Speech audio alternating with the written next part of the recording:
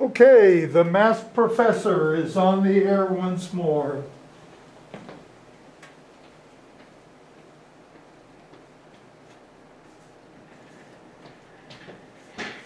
Greetings, fellow humanoids. Today we're going to talk about Chapter 8, Industrial Robotics.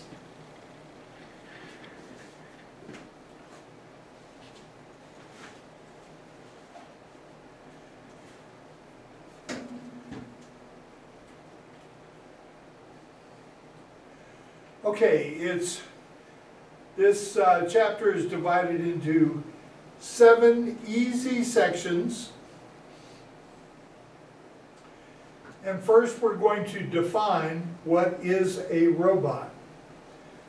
Um, robot actually comes from the Czech word for slave.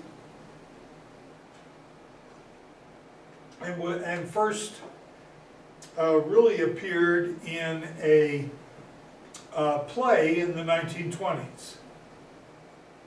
So, an industrial robot is an automatically controlled, reprogrammable, multi-purpose manipulator programmable in three or more axes, which may be either, either fixed in place uh, or uh, for mobile use in, in industrial automation application.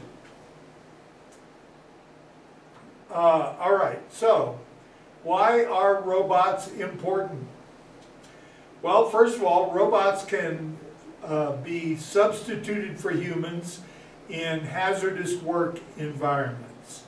So very often we have robots that are programmed to do welding tasks, uh, uh, for example, that are repetitive and uh, of course that's one of the things that robots do best is repetitive work.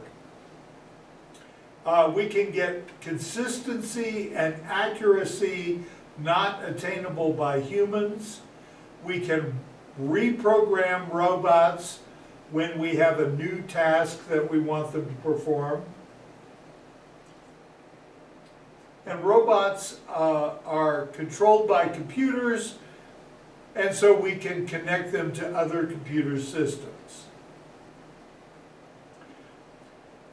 When we're talking about robot anatomy, we have a manipulator that is, uh, consists of joints and links. So joints prov provide the relative motion and links are rigid members between joints. So this is very much like the biomechanical uh, analysis of human beings uh, that we see. Um, so links are our rigid members between joints and we have different joint types. Uh, we have linear and rotary. We actually have more types of joints for robots than we do for human beings. Each, each joint provides a degree of freedom to the robot uh, arm.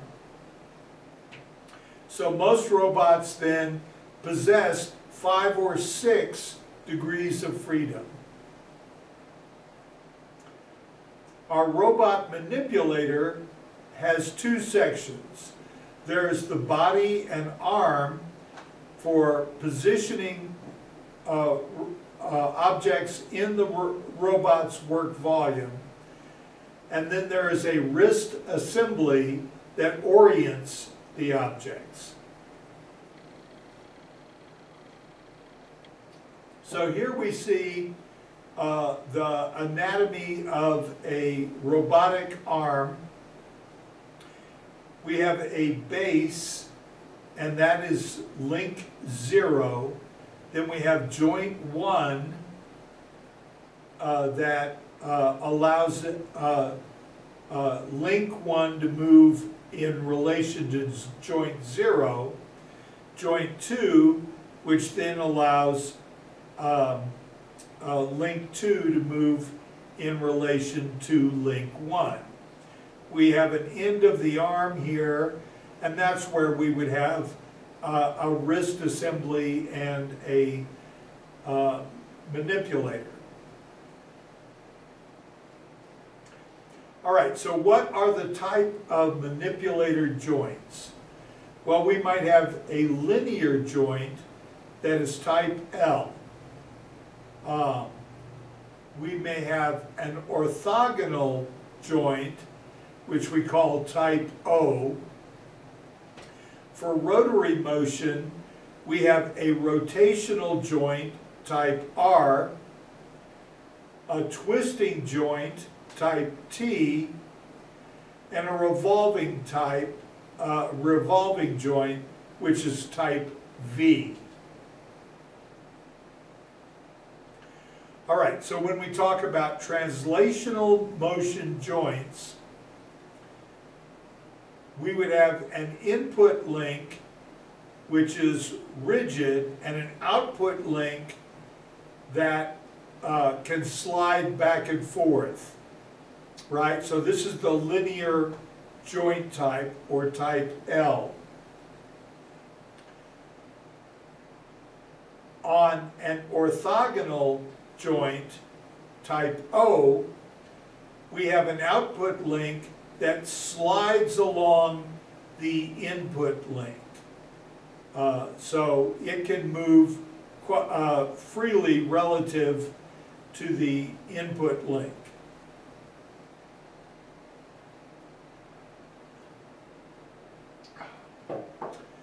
When we talk about rotary motion joints, we have a rotational joint or type R that gives us a movement around a pivot. So we have an input link and an output link that is moved around a pivot, very much like your elbow. Uh, we have a twisting joint or type T where we have an input link and then it rotates around um, uh, uh, to get to whatever angle it, it desires. Uh, we only have a limited ability to do this as human beings, such as uh, our forearm wrist combination.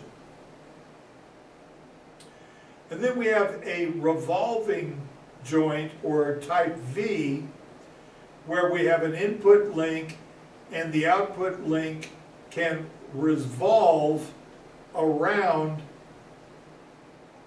uh, around the uh, uh, the actual joint.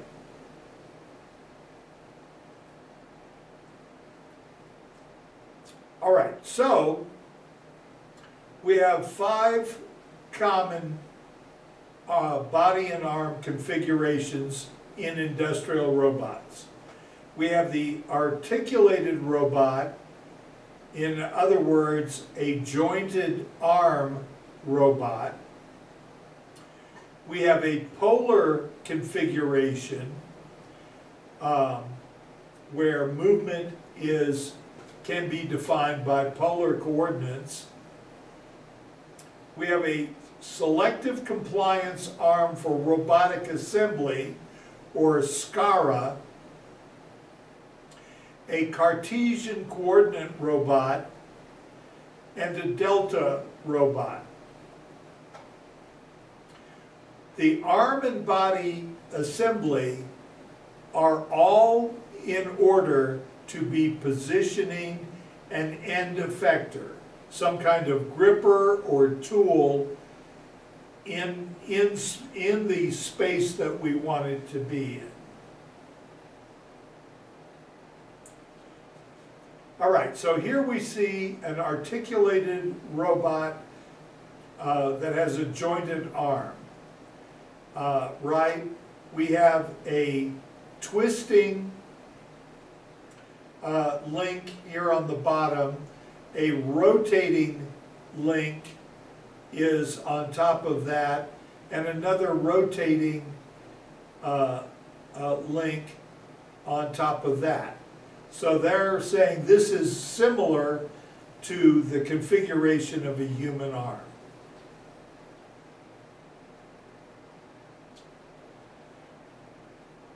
Here in a polar configuration uh, type of assembly, we have a sliding arm, our L joint here, and that is actuated uh, relative to the body, which can rotate around the vertical axis and also the horizontal act axis.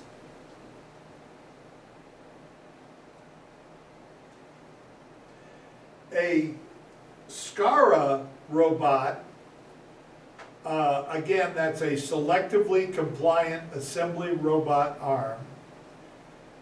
Uh, we have a V-type link and an R-type link with uh, a, an orthogonal, um, uh, ortho orthogonal joint that can be uh, used to uh, uh, assemble something um, uh, in a, uh, what may be a very simple or maybe a very complicated fashion.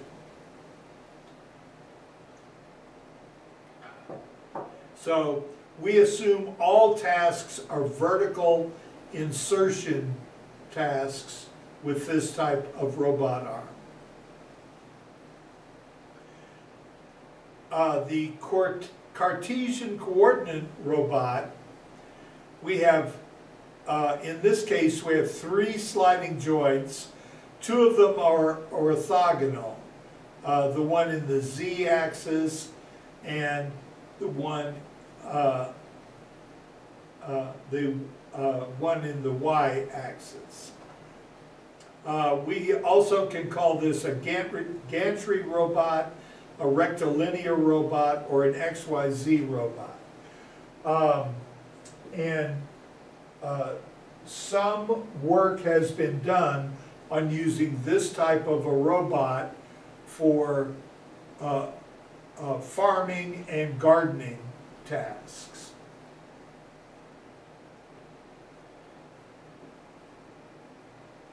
A Delta robot has three arms attached to an overhead base.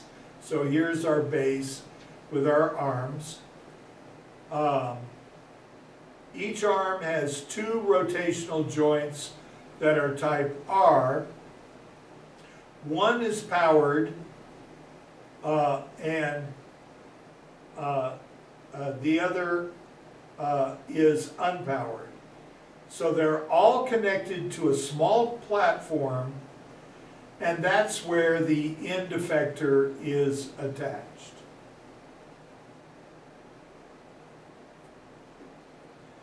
Okay, well wrist configurations our wrist assembly is attached to the end of arm uh, which makes sense. That's where we find our own wrists. Uh, then the end effector is attached to the wrist assembly.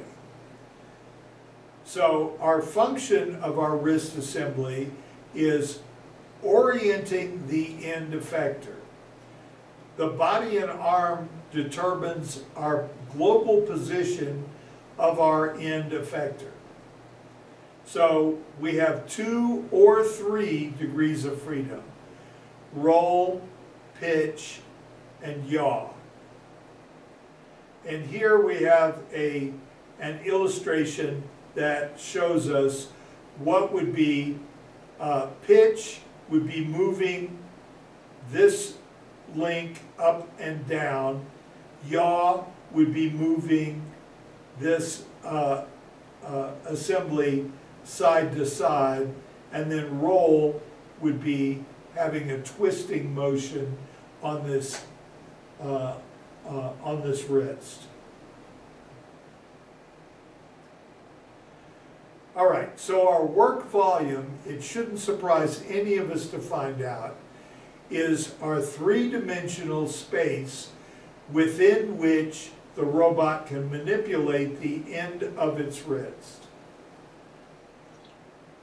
We also call this the work envelope, right? Now this is no different than when we talk about human beings at a workstation and talk about their work volume or their work envelope. In this case, though, it is going to be determined by the number and types of joints that we have, the ranges of the joints, and the physical sizes of the lengths. Okay, so that should make a certain amount of sense to us.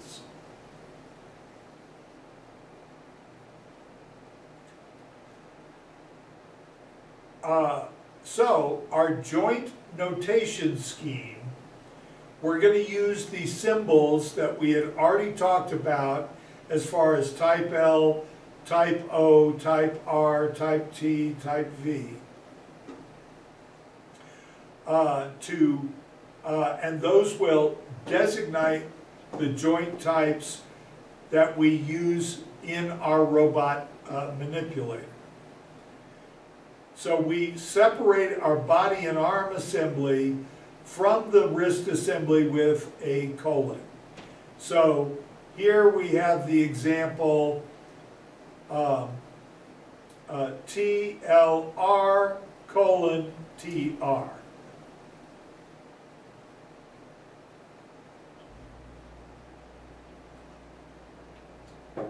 All right, so here we have joint notations for five arm and body configurations.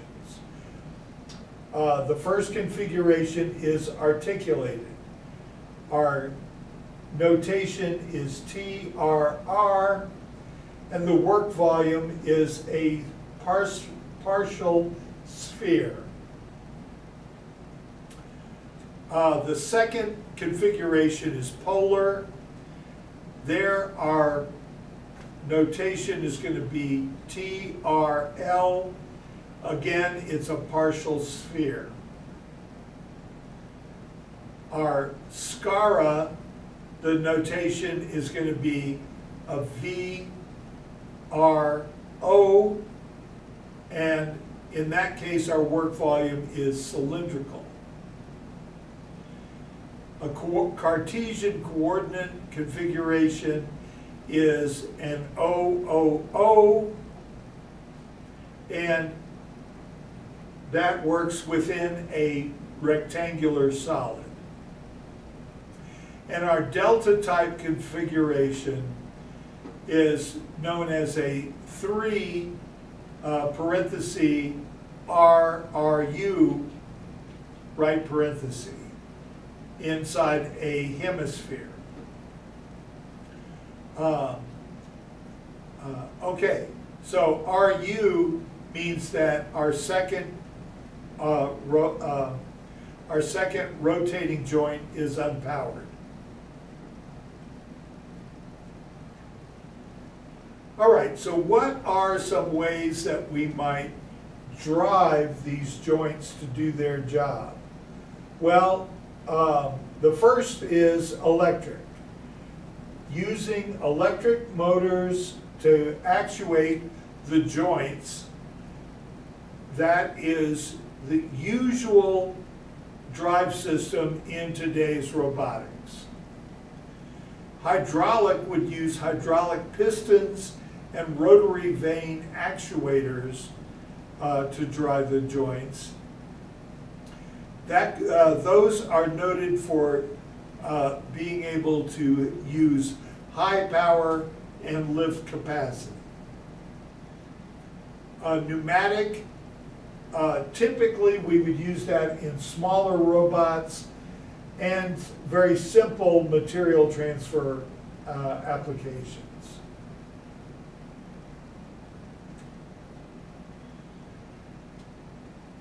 Now, of course, we're going to use sensors in conjunction with our robotics. We have two basic categories of sensors. that we use in the industrial robotics. One is internal, that measures the movement and the velocity of the manipulator joints in the way, uh, same way that your proprioception system does within the human body.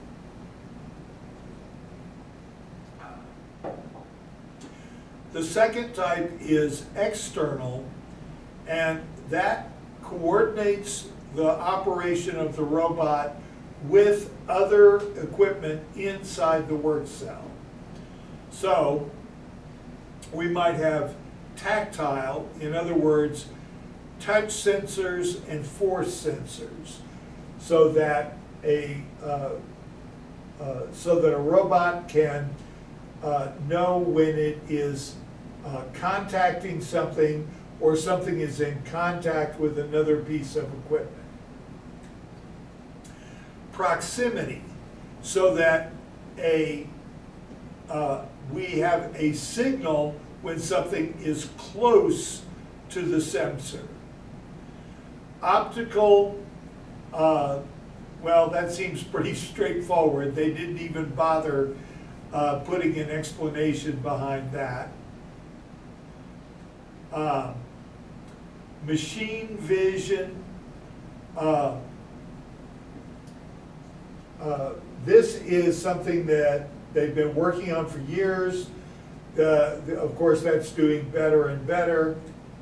And we might have other types of sensors, a temperature sensor, a voltage sensor, magnetism type sensor. Uh, oh, the list could go on for seconds more. All right, so when we talk about robot control systems, we may have a limited se uh, sequence control. These are usually pick and place operations where we have mechanical stops that set the uh, positions, right? So that mechanical stop might be a physical stop that stops the uh, arm from moving past a certain point, or it might be a limit switch. Uh, we can have uh, uh playback with point-to-point -point control. So in other words, we record the work cycle as a sequence of different points and bloody hell, one second please. Hello.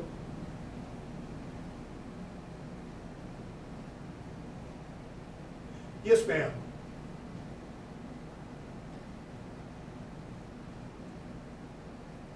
Perfect, I can hardly wait.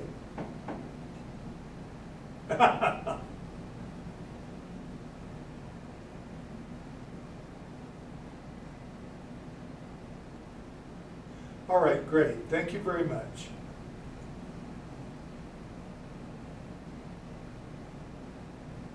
Uh, okay, I'll see you then. Thank you. Bye. Bloody hell, having a tooth out tomorrow, uh, which is actually why we're not going to have class tomorrow. Uh, I'm uh, going to have to be in Farmington at the time class would be. But don't worry, I'll leave you plenty of exciting stuff on Moodle so that you won't miss me a bit.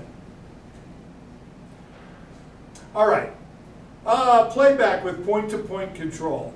In this case, the, we're recording the work cycle as a sequence of points and then uh, the robot is uh, records those points and plays them back to execute the program.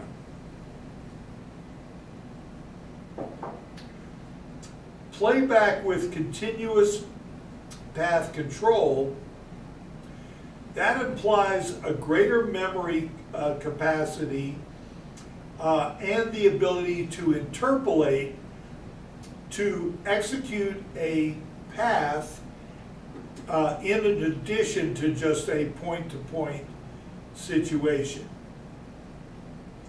And then intelligent control, uh, the robot um, arm or the robot is able to show us behavior that makes it seem as though it's intelligent. Um, so it's responding to sensor inputs, it makes decisions based on those, and it communicates with humans. Um, although probably not in the traditional um, uh, uh, traditional uh, we obey kind of Dalek fashion.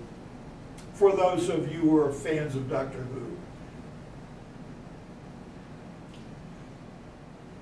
All right, so a robot control system, this is the hierarchical structure that we would expect to have in a robot uh, uh, controller. So we have a program storage, right? Because it's rare that we're just going to have one program and that's all that uh, uh, robot does all day, right? So we have uh, input and output into the executive processor. Some of that input is going to go into a program storage. Uh, some of it may be to modify a program that's already there.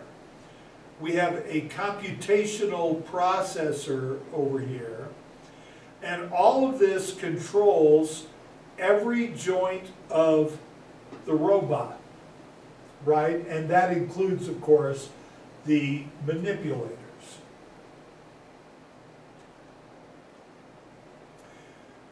The end effectors, again, those are the tooling uh, at the end of a robot arm that lets it perform a task, right? That might be a little vacuum cup that allows it to pick something up and move it. Um, when I worked at the Center for Automatic Identification uh, at Ohio University, we actually had robots that were passing uh, uh, little carriers that we made by uh, uh, barcode readers and the little carriers had barcodes on them so that we were accumulating data uh, over and over again on, uh, on reading different types of barcodes. All right, so we have two types. We have grippers. Like I said, it might be a vacuum cup. It might be something that works very much like your fingers. Um, they grasp and manipulate the objects during the work cycle. Or we might have tools that just perform a process. It could be spot welding, it could be spray painting, uh, it could be screwing in uh, screws. Uh, uh, that's actually uh, uh, all available to us. Here we see a robot mechanical gripper. You can see that this is um, uh, kind of simple. It's just got two grasping uh, parts that come together uh, to hold something. Um, and, uh, well, I'm, I'm unsure what else to say about that. Now, we do have advances in mechanical grippers. Uh, we have uh, dual grippers now uh, we have interchangeable fingers. You notice how much of the uh, discussion about uh, the different parts of robots uh, is uh, human-centered, right? We talk about joints, we talk about arms, we talk about fingers. So we might have interchangeable fingers, sensory feedback, so they can sense the presence of the object and apply a specified force on the object. Uh, we might have a multi-fingered gripper, uh, similar to the human hand, but of course, we're not stuck with the kind of five fingers, one opposable thumb idea that we have with a human hand. We might be, um, uh, we might design something where the fingers are evenly spaced around the gripper, uh, or similar to a human hand but has two thumbs. And we may have standard grippers so that we don't have to uh, custom design things uh, for every different part and/or uh, purpose. All right, so what are we going to use industrial robots for? Basically, we have three different things that we're doing. One is material handling applications. Uh, It might be a material transfer uh, where we're doing a pick and place with the robot, or we're do's- doing, using a robot to do palletizing. It could be machine loading and/or unloading, uh, right? So that we have a CNC machine, uh, we have a robot that can load and unload the parts. That means that we have eliminated humans from having to work with that process unless there's a machine jam of some kind. Processing operations, uh, spot welding, continuous arc welding. Uh, Robots are very useful for this. Welding uh, can be very hard on human beings. They get burned, they burn their retinas, and let me tell you, getting a burned retina is no joke. You wake up at three in the morning and you feel like your eyes are filled with sand. Not fun. We can do spray coatings, uh, whether that's a spray painting type of thing or coating something with a plasticized uh, kind of thing. Um, and a robot can work with materials that would be extremely, extremely dangerous for human beings. Uh, other things that we can do, water jet cutting, laser cutting, uh, uh, automated grinding. Uh, uh, again, all of these, uh, the robots can do with great precision and repeatability. And it can do assembly and inspection. Um, There are some ways in which the human Mark I eyeball is still better than robots for inspection, but great strides are being made all the time. This, uh, this is not something that will last forever.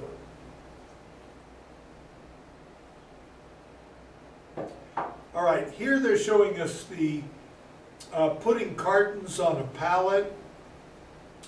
Um, It would have been more to the point if they'd showed us uh, the robot manipulator that was putting the cartons on.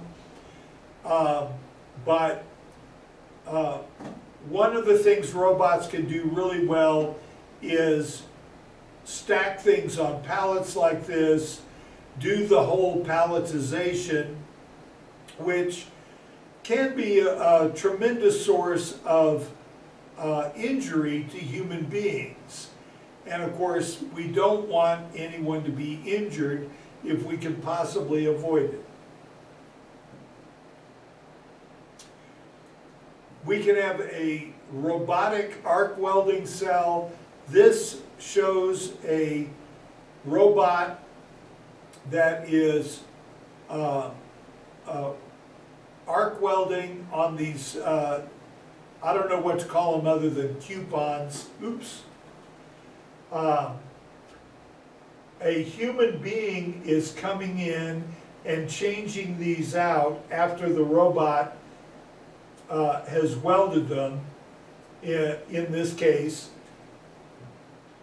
So as the robot moves from one side to the other, the human being then uh, the human being has placed these, the robot is welding them, the human being takes the finished product out and puts in new parts to be welded. Uh, then when the robot comes over here, the human being changes these out. All right, so often we still work where we have collaborative robots. In other words, the robot doesn't do everything. It does uh, some of the heavy lifting or the dangerous work, and the people then are, uh, uh, the people are working uh, uh, with the robots to make everything happen. So, the robot's strengths, accuracy, repeatability, speed, lifting capacity, and tirelessness. Human strengths, intelligence, adaptability, problem-solving ability. Um, so, as I stated in a previous class, automation traditionally has actually increased the amount of human labor needed. Um, uh, it just moves it to a different place than it used to be. Uh, this will um, this will last until we get robots that can fix themselves and other robots. Then what's going to happen to the human beings? I hope it's not Skynet. Those Terminator movies have made a big impress, impression on me. All right, so what are some places that we might use collaborative robots? Um, well, one is uh, semi-automated production lines, right? Where we have humans and robots, and we leverage the strengths of each.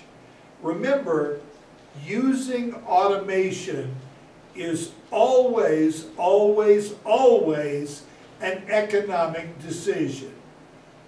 We never just say we're going to use robots because they're cool. It, we always have an economic reason, right? We are going to be able to produce more. We're going to be able to produce with higher quality. There must be an economic reason to automate always.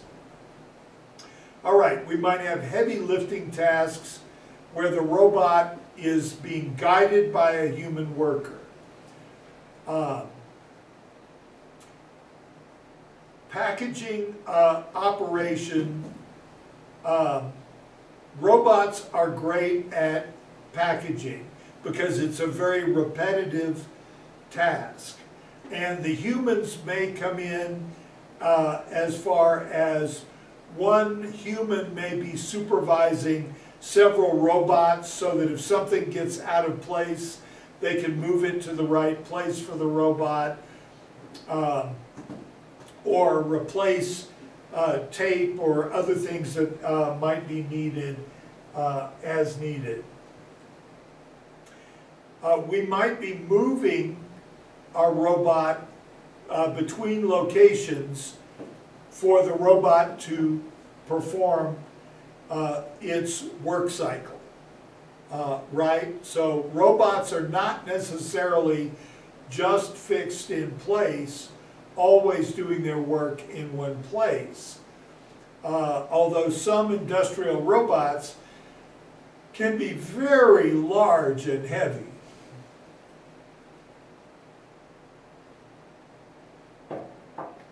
All right, so what are uh, characteristics of situations where we want robots to be applied? Well, one is any place that's got a hazardous work environment.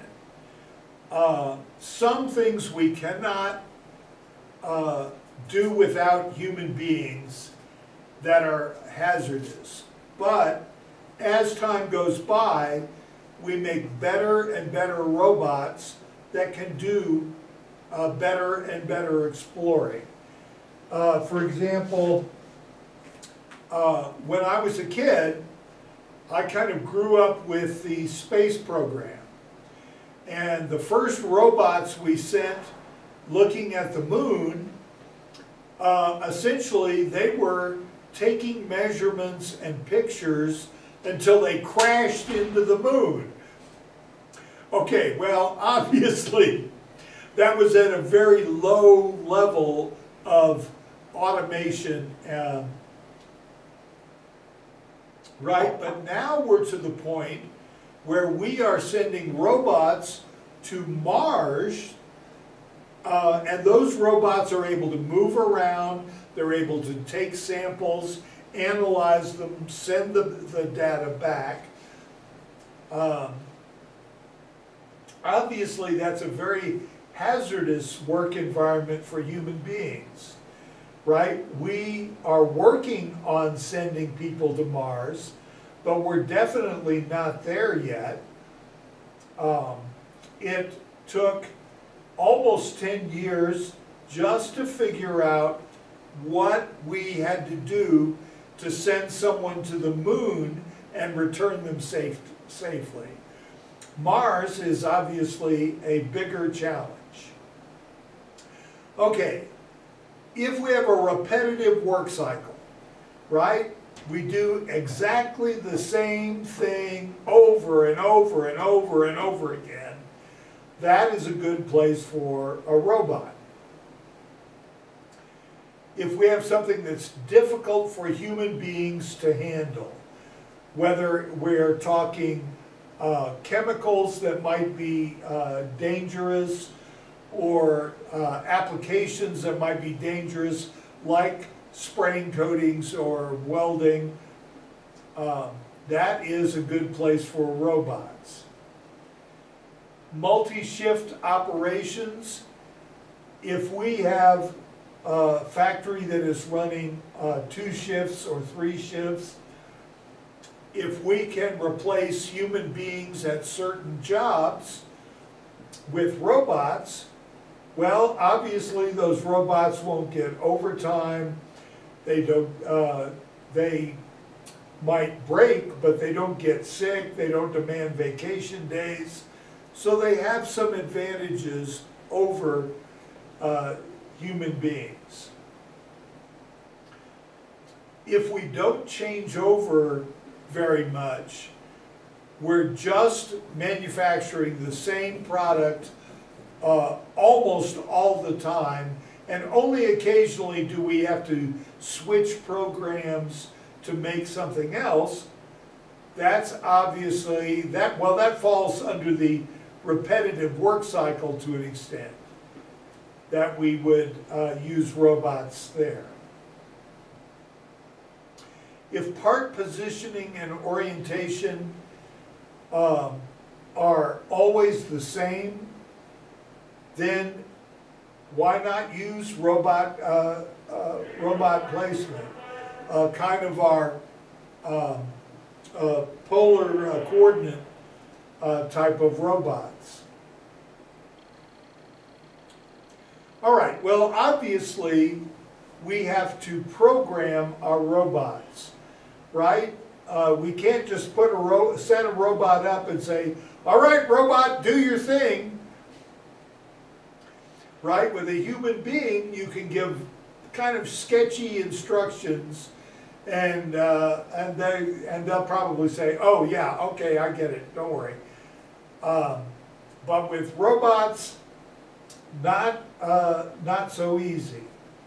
So, our robot program is a path in space that is followed by a manipulator combined with peripheral actions that support the work cycle. Right? So that manipulator may be placing uh, things in an assembly. It may be picking up things and moving them to pre-programmed positions. Right? So our peripheral actions might be opening and closing a gripper, uh, performing logical decision making, uh, communicating with other pieces of equipment uh, that it's working with in a work cell.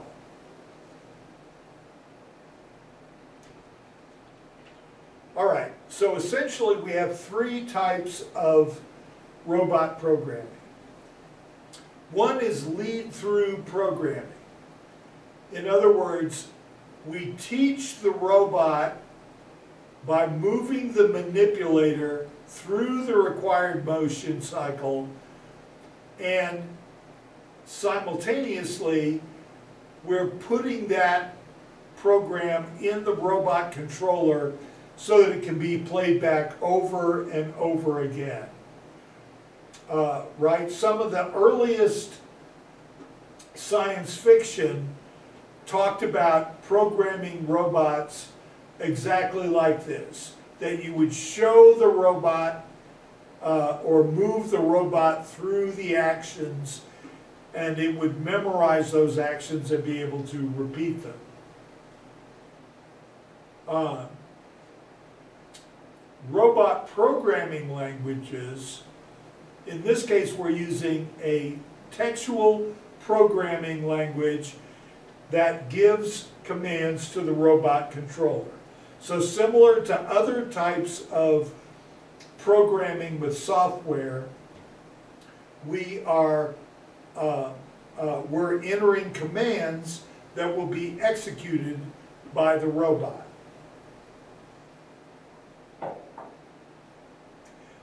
Simulation and offline programming. The program is prepared at a remote uh, terminal and we download that to the robot controller. Okay, so in that simulation and offline programming, it's going to be somewhat similar to lead through, except everything is done virtually.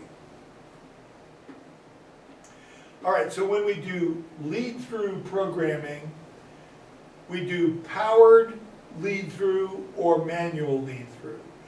Powered lead through we use for point-to-point -point robots, um, and we use a teach pendant to move the joints as we desired uh, to their position.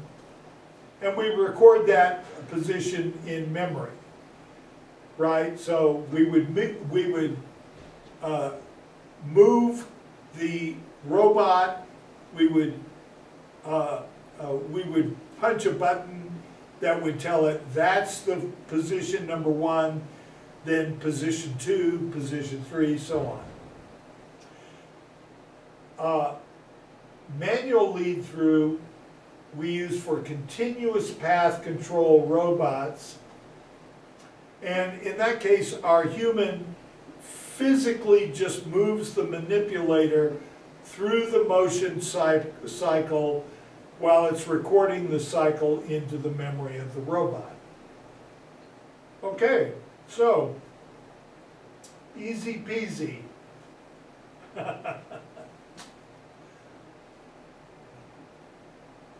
All right, so we have advantages and disadvantages to this kind of lead-through programming.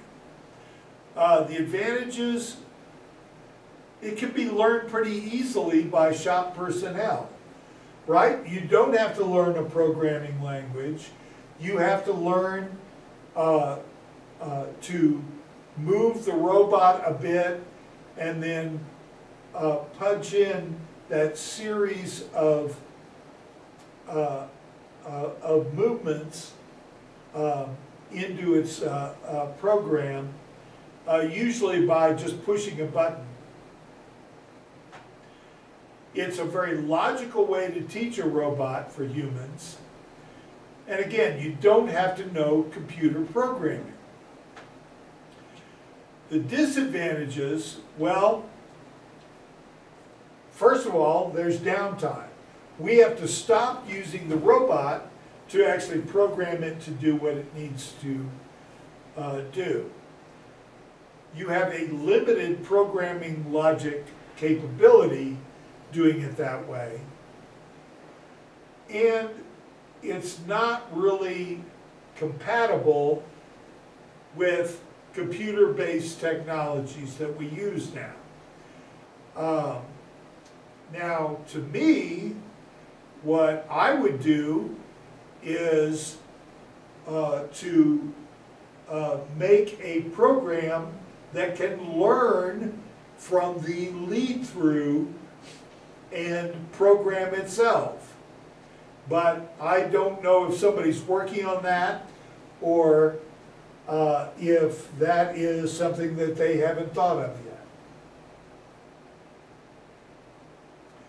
All right, so when we talk about robot programming languages, these are going to be textual, uh, textual, bleh, uh, programming languages, they're going to uh, give us enhanced uh, capabilities. For one thing, we have enhanced sensor capabilities, right? How do we teach a robot with lead through how tightly to grip something?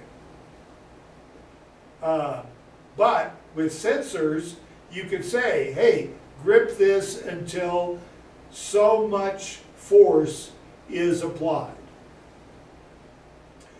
Uh, you have improved output capabilities controlling the external equipment.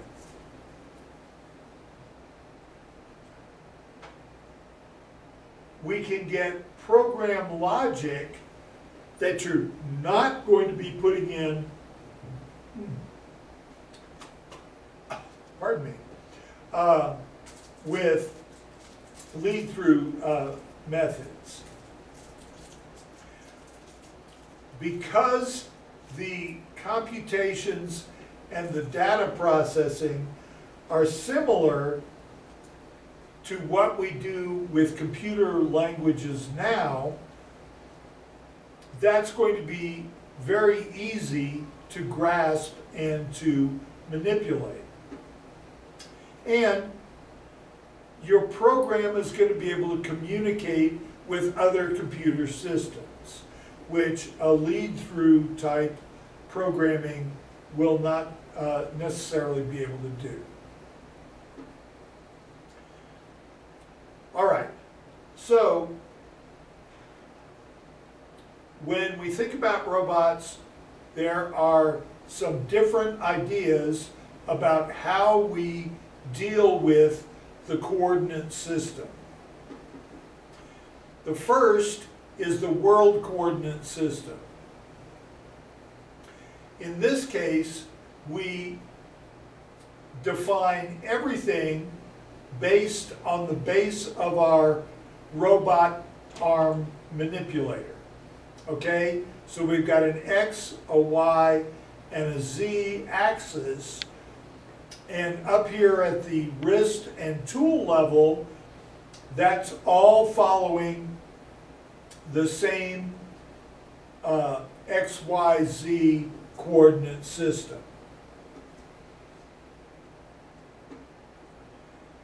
In a tool coordinate system, uh, everything is defined as being uh, uh, as being uh, off the wrist of the manipulator arm. So we've got X, Y, and Z, and they're going to change as the position of the wrist uh, uh, moves. All right, so here are some motion programming uh, uh, commands and um, I don't know uh, uh, uh, what to tell you about this, except that this would be kind of a typical programming approach. Uh, move to point one, uh, here point one, moves uh, point one, uh, uh, on down the line. It, uh, they make it look like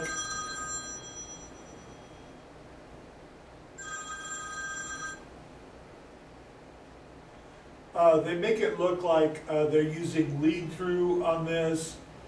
Uh, okay, well that's fine. All right.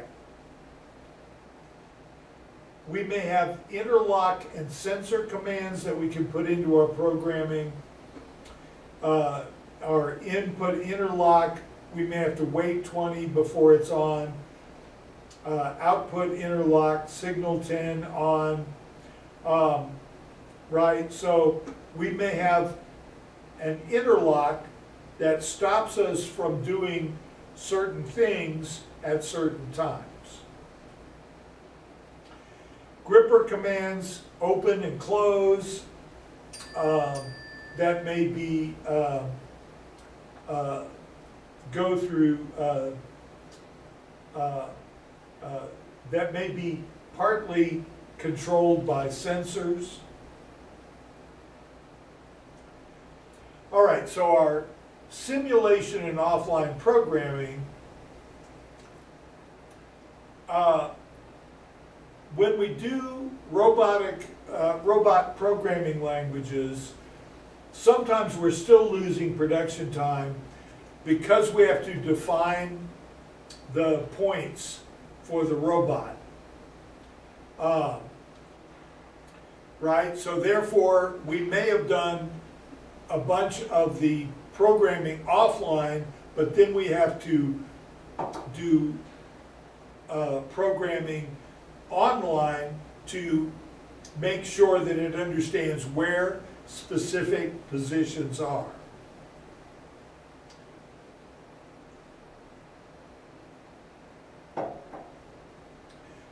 But if we can do a true offline programming, we can prepare the program beforehand, we download it to the controller, and we have the least possible lost production time.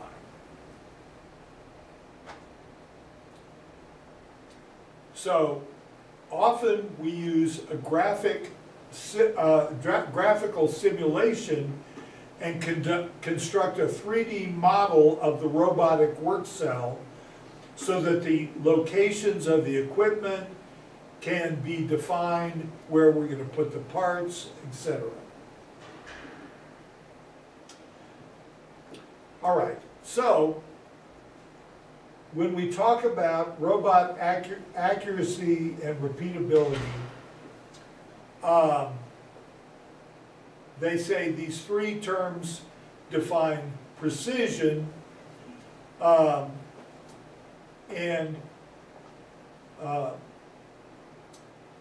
they are the control resolution, the capability of robot, uh, the robot positioning system to divide the motion range of each joint into the closely spaced points.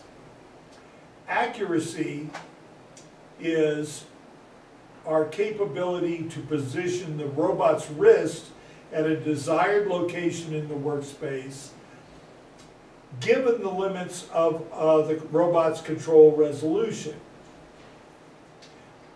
And the repeatability is our capability to position that wrist at a precise point that we taught it in the workspace. And that's it for our little uh, slideshow. So I'll take any questions. All right, I'm lying, there's no one here but me, so there will be no questioning. Anyway, this is the masked professor, and I'm out of here.